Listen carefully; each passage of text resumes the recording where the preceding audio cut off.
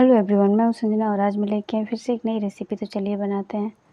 तो आज हम बनाएँगे ब्रेड की रसमलाई तो इसके लिए हमने 10 से 12 ब्रेड की स्लाइस ली है। आप ब्राउन वाला भी ब्रेड ले सकते हैं। हमने वाइट वाला लिया है। आधी कटोरी हमने चीनी लिया है। हमने नारियल लिया है सजाने के लिए। हमने इलायची लिया है, कूट के रख लिया है और किशमिश लिया है। आप चाहें तो बादाम भी ले सकते हैं, काजू भी ले सकते हैं। आधा लीटर हमने दूध लिया है। दूध आप ज़्यादा भी ले सकते हैं जितना आप बनाना चाहें। हमने कस्टर्ड पाउडर लिया है। अब एक प्लेट लेंगे। एक गिलास से हम इसको बीच से कट करेंगे। आप देख सकते हैं मैं इसे कैसे कट कर रही हूँ। कटर हो तो आप कटर से भी काट सकते हैं। तो हमारे पास नहीं है तो इसलिए हम गिलास से काट रहे हैं। आप देख सकते हैं। तो एक गिलास की मदद से हम सारे ब्रेड को बीच से कट करेंगे। आप देख सकते हैं मैं कैसे कट कर रही हूँ। आप चाहें तो बड़े साइज़ का भी ब्रेड ले सकते हैं। तो देखिए हमने इसके साइड वाले जो पोर्शन है उसको निकाल देती हूँ। और इसका भी कुछ रेसिपी बन जाएगा। तो आप देख सकते हैं मैंने सबको निकाल के रख लिया है पहले से ही। अब हम एक पैन में दूध गर्म करेंगे। तो हमने पहले से गैस पे चढ़ा रखा है दूध को। और इसको खौलाएँगे हम। खौला करके एकदम आधा कर देंगे दूध को, जला करके। जब तक ये गाढ़ा हो जाए, तब तक इसको खौलाएँगे दूध को। पूरी में हम गर्म दूध लेंगे। आप चाहें तो ठंडा यूज़ भी कर सकते हैं, लेकिन मैं तो कहूँगी कि गर्म ही दूध लीजिएगा। ज़्यादा गर्म नहीं, हल्का गर्म होना चाहिए।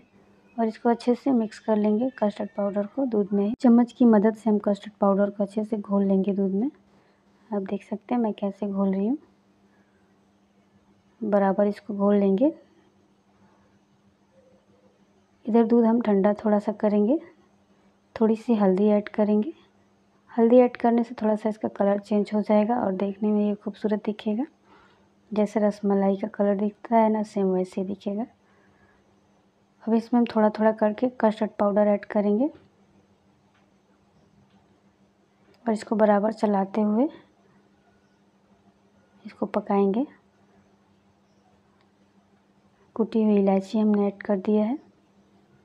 आप चाहें तो बादाम, पिस्ता, काजू सब इसमें ऐड कर सकते हैं, जो भी आप चाहें। अब इसमें हम दो बड़े चम्मच चीनी ऐड करेंगे। चीनी आप अपने हिसाब से ऐड करिएगा, जितना आप मीठा खाना चाहें। तो हमने तो बस दो चम्मच चीनी ऐड किया इसमें। चम्मच की मदद से हम चीनी को दो मिनट पका लेंगे इसमें, गैस पर ही। तो आप देख सकते हैं, ये गाढ़ा हो चुका है। पहले से ज़्यादा गाढ़ा हो गया है। तो अब हम गैस बंद कर देंगे। अब इसको ठंडा करने के लिए दो मिनट तक छोड़ देंगे। और हल्का हल्का गर्म जब रहेगा, तभी हम जो ब्रेड के स्लाइस किए थे, उसको इसमें ऐड करेंगे। और ये कलछुल की मदद से देखिए मैं इसके ऊपर ये मैं दूध डाल रही हूँ इसके ऊपर। आप देख सकते हैं। आप ज़्यादा गर्म दूध में ब्रेड मत डालिएगा नहीं तो ब्रेड टूट जाते हैं। हल्का गर्म हो दूध, तभी इसमें ब्रेड डालिएगा। आप देख सकते हैं हमारी ये रस मलाई बन के रेडी हो चुकी है खाने के लिए। तो मैं एक प्लेट में निकाल करके दिखा देती हूँ। तो मैंने एक प्लेट ले लिया है। अब हम रसमलाई इसमें ऐड कर दिए हैं। सजा देते हैं थोड़ा सा तो हमने किशमिश से इसको सजाया है, आप देख सकते हैं। आप अपने हिसाब से काजू, पिस्ता, किसी भी चीज़ से भी सजा सकते हैं। ऊपर से हमने थोड़ा सा नारियल का बुरादा ऐड कर दिया है। थोड़ा सा देखने में खूबसूरत दिखेगा। तो आप देख सकते हैं हमारी ब्रेड की रसमलाई बन के रेडी हो चुकी है खाने के लिए। और अगर मेरी रेसिपी आप लोगों को पसंद आए तो प्लीज़ लाइक करें शेयर करें सब्सक्राइब करें। और अभी तक आप लोगों ने मेरे चैनल को सब्सक्राइब नहीं किया है तो प्लीज़ जाके सब्सक्राइब कर लें। अब इस रसमलाई को आप चाहें तो पाँच छः घंटे फ्रिज में रख सकते हैं। तो इससे और इसका टेस्ट बढ़ सकता है और आप चाहें तो ऐसे भी खा सकते हैं।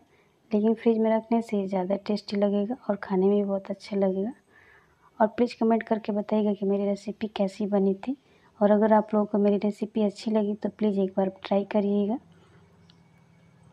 ये रसमलाई बड़ों को, छोटे बच्चों को सबको बहुत अच्छा लगता है। तो आप देख सकते हैं कितना यमी कितना टेस्टी दिख रहा है। खाने का मन कर रहा है ना? थैंक यू सो मच मेरी वीडियो देखने के लिए।